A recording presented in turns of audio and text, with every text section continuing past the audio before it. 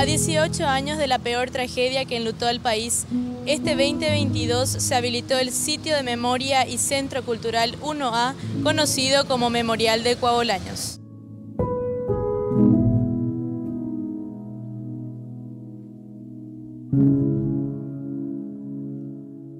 Se trata de un espacio de espiritualidad e intercambio de conocimientos que propone un recorrido guiado con el cual se busca homenajear a todas las víctimas de aquel fatídico incendio del 1 de agosto del 2004. Usualmente nosotros comenzamos la, visita guiada a partir del primer espacio que quiero que me acompañes para que puedas ver. El proceso fue muy largo porque desde aquel 1 de agosto del 2004 se había ya asumido la decisión de que este espacio no podía volver a ser un supermercado. Y lo que nosotros queríamos como familiares de fallecidos era lograr que este espacio sea un lugar de recordación y de memoria. Cuando ocurre la explosión en el patio de comidas, la gente que ya había visto y que estaba dentro del supermercado intenta salir y lógicamente por acá ya no podía porque el incendio se inicia en esta zona. ¿Por qué murieron tantas personas? Porque evidentemente acá las puertas se cerraron y las órdenes fueron que nadie salga sin pagar y que nadie entre a robar. Entonces, acá eh, uno, eh, una de las situaciones más fuertes y más potentes es que el dinero tuvo más valor y los bienes materiales tuvieron mucho más valor para los empresarios que el valor de la vida que se perdió en este espacio. Entonces, por eso esta construcción queda así como está. Y si ves, está rodeado de agua, porque para nosotros el agua simboliza la vida, porque sabemos que fue el agua el que ayudó a apagar el incendio y la estructura que permanece acá es la estructura que nos señala lo que acá ocurrió y por qué ocurrió.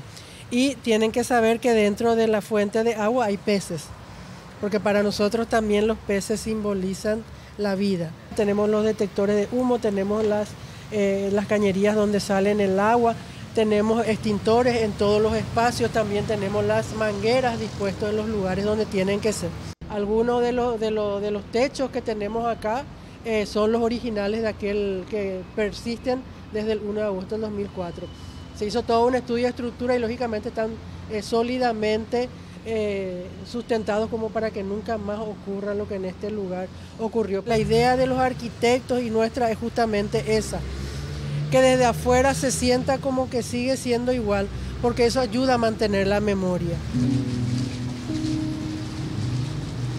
Este es el segundo espacio que los familiares de fallecidos y sobrevivientes, principalmente los sobrevivientes, querían que quede tal cual está, porque dicen los sobrevivientes que ellos fueron los que cayeron primero en esta rampa, porque al lograr romper la puerta de blindes que estaba más arriba, ellos salen corriendo y cuando llegan a este lugar se dan cuenta que los portones de hierro que estaban acá estaban cerrados con multilook. Entonces comienzan a caer.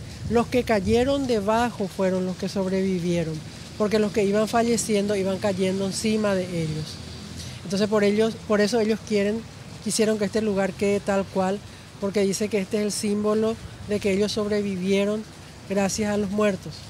Eh, yo sé que es muy duro, pero es así mismo como ocurrió. Porque ¿qué significa memoria viva? Significa pasar de generación a generación la historia real de lo que acá ocurrió para que nunca más se vuelva a repetir.